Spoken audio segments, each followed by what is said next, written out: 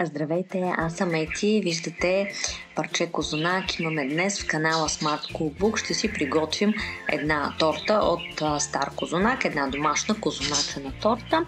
Това е един чудесен вариант да оползотворим козунаците, които са ни останали, защото обичайно всички приготвяме малко повече, отколкото ще си хапнем. Ще си приготвя едно кремче, такъв вид нишасте, което е с вкусна ванилия. Мисля, че се допълва добре с козунака. Приготвям си го според описанието, което е на пакета. А, кремчето ми е за а, 700 мл мляко прясно мляко. А, може да се приготви с вода, но горещо ви препоръчвам да го направите с мляко. Добавям малко захар, само 3 супени лъжици, защото все пак и козунака е сладък, така че не искам да прекалявам. А, по този начин става наистина много бързо и много лесно. Ще използвам тази форма, виждате тя има като ръбче, силиконова е. А, не е много голяма, 20 см, маничка е, но е достатъчно. Надявам се, а, ползвам я за първи път и се надявам хубаво да се отлепи. А, на, за това за всеки случай съм я намокрила с студена вода.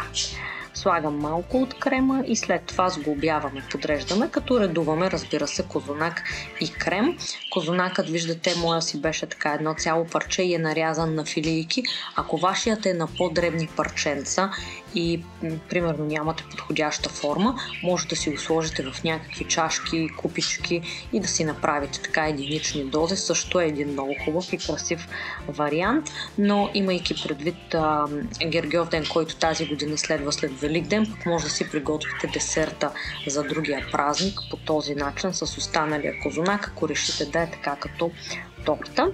Ще сложа в средата и малко от тези филираните бадеми, които също ми останаха от козунака и си подреждам останалата част. Също така може да използвате и тези форми, които са с ринг, с скобата, за добър вариант. След като всичко хубаво си го подредя, реално съм сложила два слоя крем и два слоя козунак. Ще се заглади отгоре и ще го оставя да изтине. След като изтине, ще го прибера в хладилника за една нощ. Мисля, че и по-бързо може да стигне, но аз го оставям една нощ и след това ще го обърна, за да видим всъщност как ще се получи формата. Доста добре се отлепя, така че съм обнадеждена, че ще стане хубаво.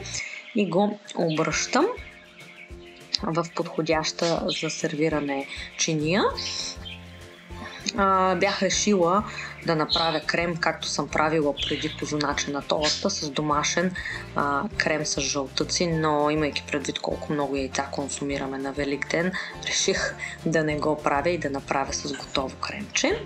А сега сезонно, нека малко така да я освежим тортата, ще добавя ягодки.